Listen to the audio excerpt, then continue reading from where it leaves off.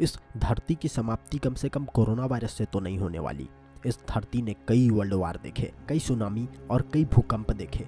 मैं मानता हूँ 2020 आने वाले भविष्य में याद किया जाएगा कि किस तरह से कोरोना वायरस ने पूरी दुनिया में तबाही मचाया।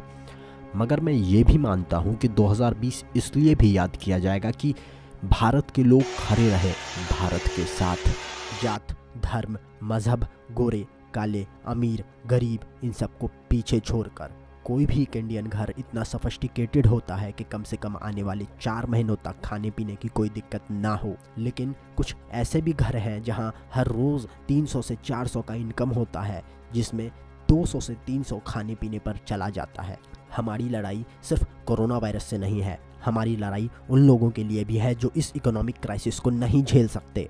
कई लोग मारे गए और कई लोग मारे जाएँगे। और जो मारे ना जा सकेंगे, उन्हें गरीबी नामक वायरस मार डालेगी। ऐसा समय जब सारे शहर बंद हैं, ऐसा समय जब सारी दुकानों पर ताला लगा है, ऐसा समय जब कोई काम नहीं है करने को, ऐसे लोग जो हर रोज़ कमाते थे और खाते थे ऐसे लोग जो छोटे शहरों से बड़े शहरों की ओर आते थे काम करने को, ऐसे लोग जिनका अपना मकान नहीं होता है रहने को, ऐसे लोग जो सड़क पर भीख मांगकर गुजारा करते थे अपना, ऐसे लोग जिन तक कोरोना वायरस तो नहीं पहुँच पाया, मगर गरीबी और भूखमरी नामक वायरस उनके सामने मुँह बाए खड़ा है। पाँच, दस, पचास, सौ, दो सौ का कंट्रीब्यूशन भी मदद कर सकता है, ऐसे लोगों की जिनके पास खाना नहीं है खाने को।